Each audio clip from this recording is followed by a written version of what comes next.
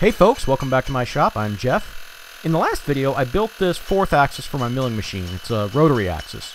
I didn't get a chance to show it making chips in that video, so that's what this video's about.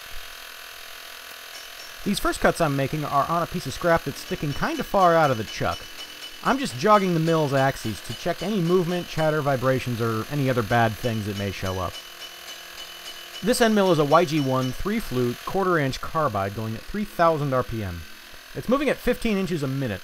The rotation is actually faster than that, and I paused it a few times, as you can see, to slow the jog feed rate uh, in my CNC controller. Slotting this aluminum at 125 thousandths depth of cut actually went perfectly fine. There was no issues, no complaints, none of the problems I feared.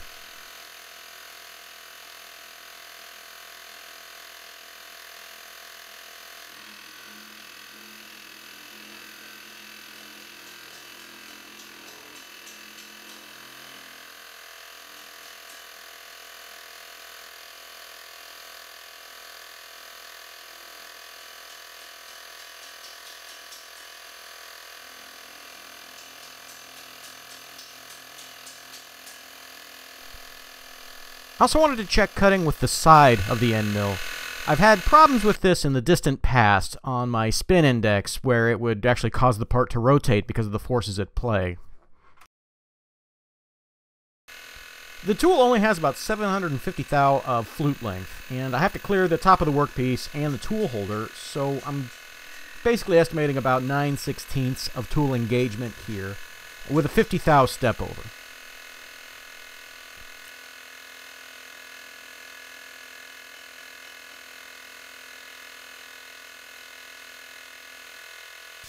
My machine isn't the biggest, so this 60 thou step over is actually a decent sized cut, and there's no chatter, movement, vibrations, or any other indicators of issues with this setup.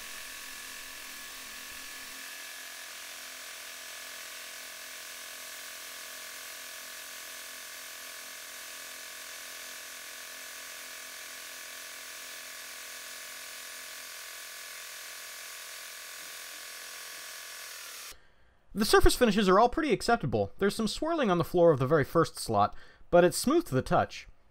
The side milling looks about as it does when I do it in the vise, so good or bad, that's finishes the result of the tool end or the machine.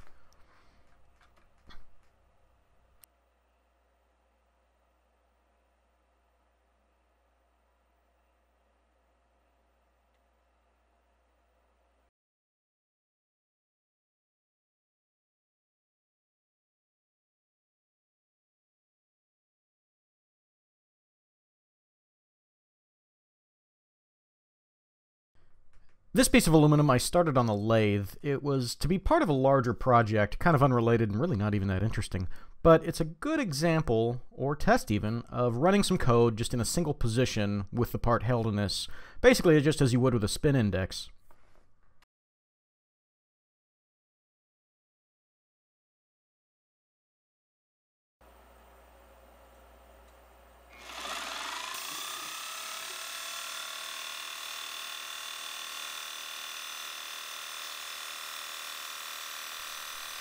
I'm just running a 2D adaptive toolpath to machine out a 200 thou deep pocket on the side of this part. I'm using a 3 8 inch 4 flute carbide roughing end mill, which in my experience will handle just about anything I've thrown at it.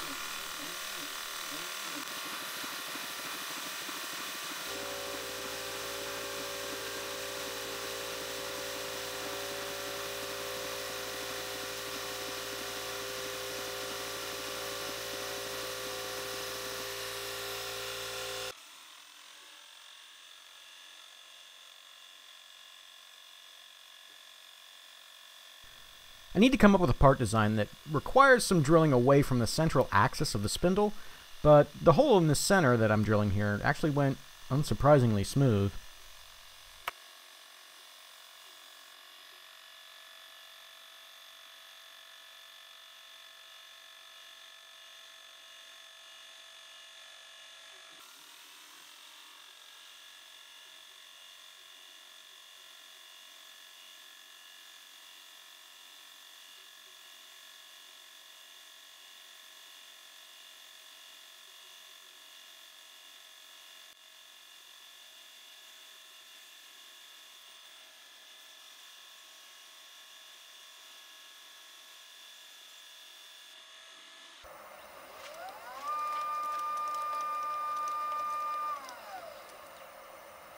The burr on the edge of the pocket there are actually my fault. I was trying to fit a part off screen uh, unsuccessfully to it.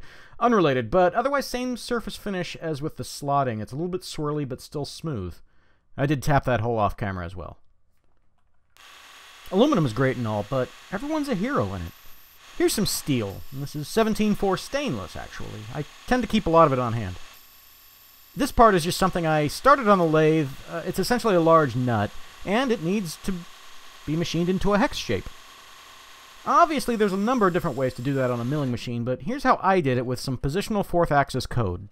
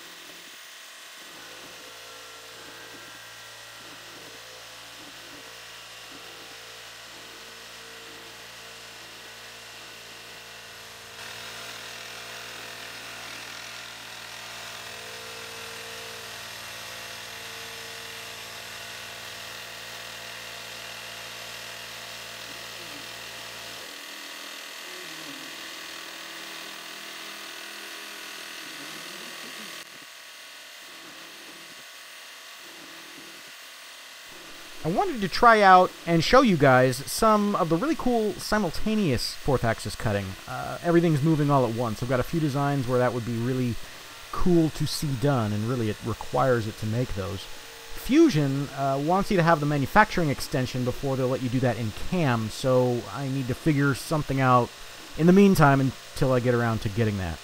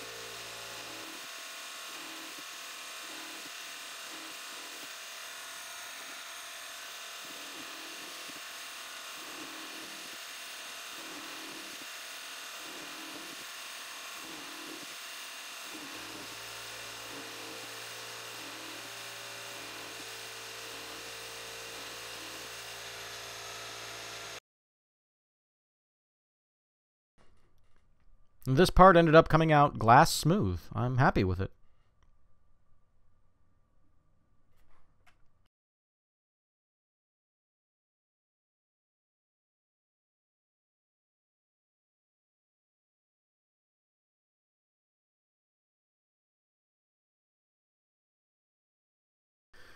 Okay, to answer questions and comments about how I set this up and to introduce a future series answering questions I receive frequently, here's the inaugural episode of the ABCs of CNC, well, DIY CNC. To get computer controlled motion like this, we can go through the very basics of just how a whole CNC machine like this works. Uh, this just puts us all on the same page.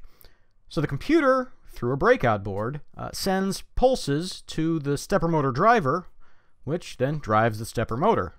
Seems easy enough.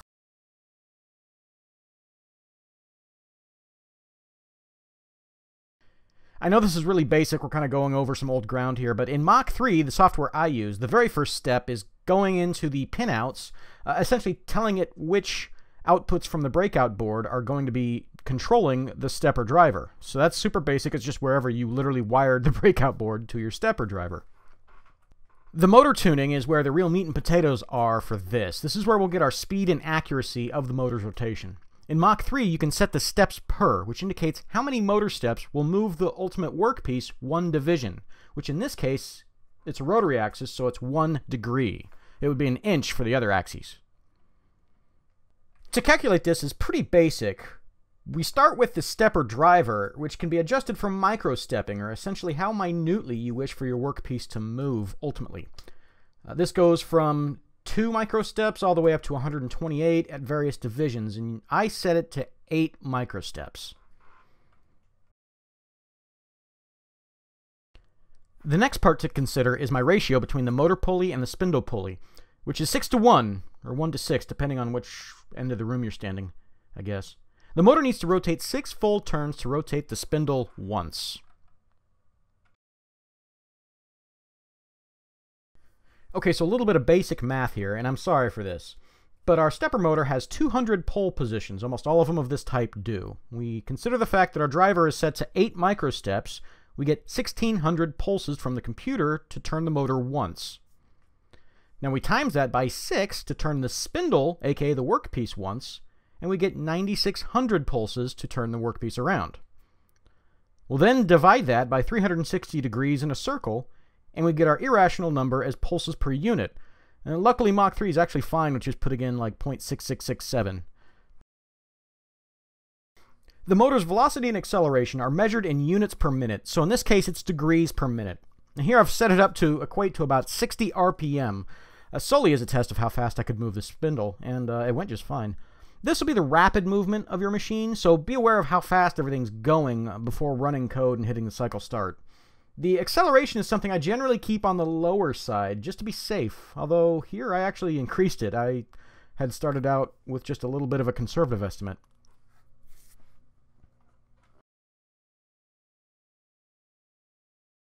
In the toolpath configuration window, I make sure that A-axis rotations are enabled, and I select the axis it's on, which is along the X-axis in my setup.